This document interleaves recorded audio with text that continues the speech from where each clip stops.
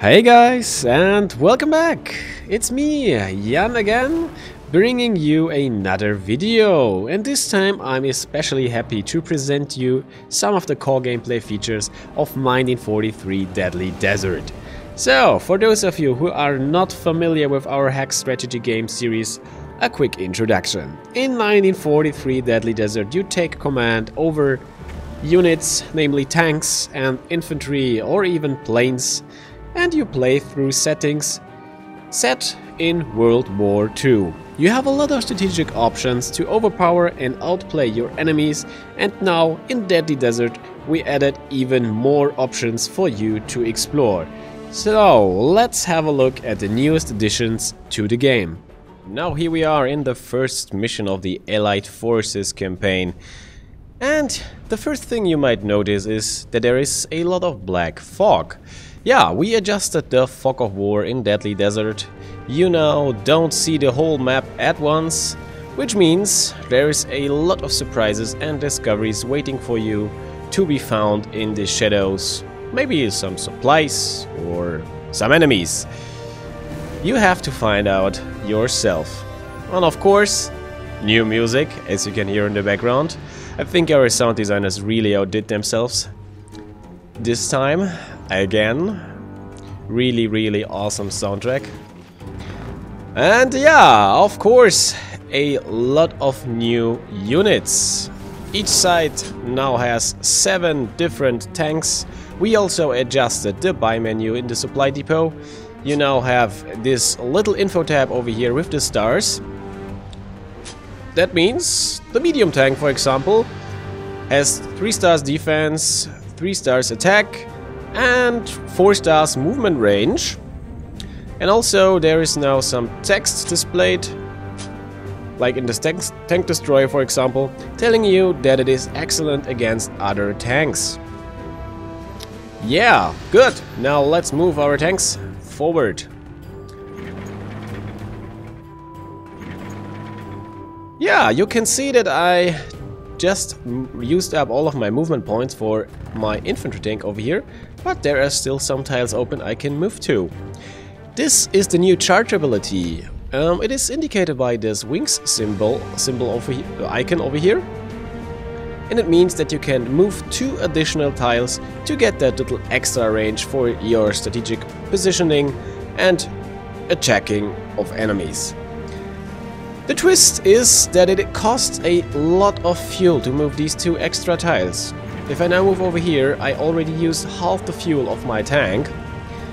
And yeah, those two tiles cost the same amount of fuel that the six movement points before did and it's really costly but can be really useful, so use this new feature wisely. Now, let's quickly get rid of these German forces over here. Move our tanks to the front line.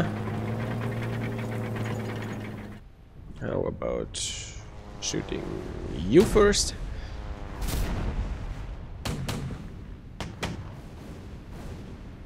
And then...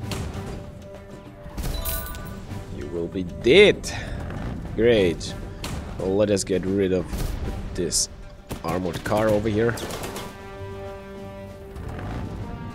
Hmm, we don't have enough range. Luckily for us, we can use the charge ability. Ah. We were not able to kill him in that turn, but why don't we use our beloved global abilities? They are of course also back. You can still use an airstrike to devastate your enemies or scan for some enemies with the radar. Yep. And we can even use some paratroopers. And now we were still able to get rid of the enemy in one turn. Destroy all enemy squads. We did that. Okay, so I already know that there are two enemies over here. But I don't want to risk my tanks over here and use up all the fuel they have. This is why I will now use another new ability. You can now mount up your infantry with the jeep icon over here and then they can move a lot further and faster. But of course they are defenseless if they are in a jeep and you can only mount and demount once per turn. And here we are on another map, this time from the multiplayer pass and play mode. Besides all the new units, you might notice this blue radius over here. This is generated by the command tank. The command tank is a very important unit because all units that standing inside of that radius gain 10% more damage. But that comes at a price.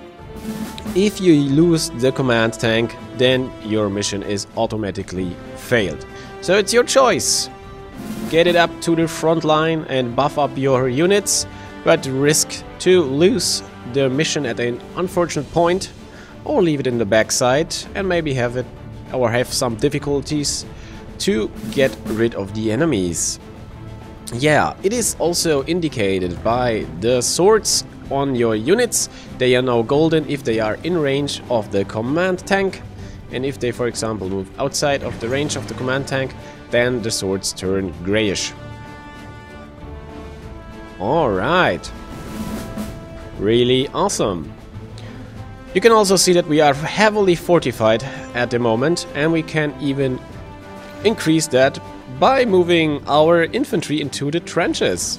These trenches over here, if we move our infantry inside, they are then automatically fortified and gain a defensive bonus which is really awesome. To enhance that even further, we switched up some units, or we switched how the bunker works, or what he can do, actually. You now have the ability for suppression fire. This is a really cool feature I want to show you right now. For that I have to move my infantry unit in the range of the bunker. Okay, it's really good that I'm playing against myself, otherwise I would be dead already. Okay, so the bunker is now in range and we can de deal suppression fire on this infantry over here. As you can see, we didn't deal a lot of damage, but this unit is now suppressed.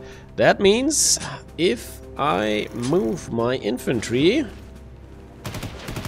ba-bam, the bunker is automatically shooting at it and dealing a lot of damage. So now, one of my infantry guys are dead. But our fortress would be nothing without some hybrid artillery. You can drop down the gun and then you can attack ground units with it. Of course you can only do that once per turn so, if we need some defense against planes, I can lift up the cannon again. And we can shoot at planes. This is a really cool feature and yeah, it's now a lot easier to defend against enemy planes. What is also cool, cool is that we switched the movement of artillery units. In our previous games, artillery often had less movement points than normal units or tanks, for example, this time you just have to use a tow truck and you can move up your artillery units. Of course, unloading and loading is only working once per turn. So you have to be very wise about when you well pack up your artillery and when to unload it. Okay, let me switch to turns again. Okay, and now I can unload it and shoot at the enemy. Well, is there anything I forgot? No, I think we are done. I think that, yeah, that should cover all the major features and changes in 1943 Deadly Desert. It's out now in the App Store and on Google Play. If you haven't already, download it and have fun with it. And as always, if you like our videos, subscribe, leave a comment, leave a like, and I will see you guys next time.